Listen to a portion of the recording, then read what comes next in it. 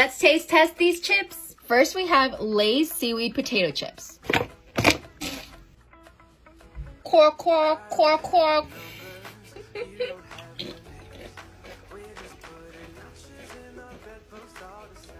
Mm, these actually do taste like seaweed and has a very like earthy flavor. So I'm gonna give these an 8 out of 10. These are Lay's Spain ham potato chips.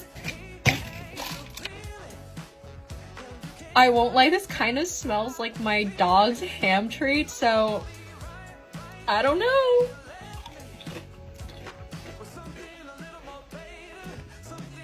Is ham, like literally the taste of ham and chips, but the smell kind of throws me off, so I'm gonna give these a 7.5 out of 10. What's next, you may ask? It is these Lay's chili potato chips in spicy crawfish flavor.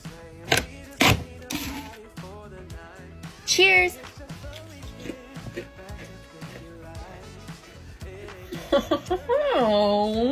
If you've ever had any like Asian seafood flavored chips, this is exactly what it tastes like and it has a very like distinct crawfish flavor and I really liked it. So 8.5 out of 10. Next up we have sizzling barbecue flavor.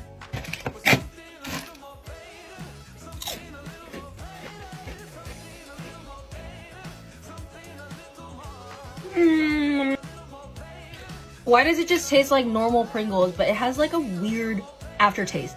I don't really like it, so I'm gonna give it like a 5.5 out of 10. Lastly, we have these Lay's purple potato chips. I think they're just like taro chips, but they're in coconut flavor. Uh...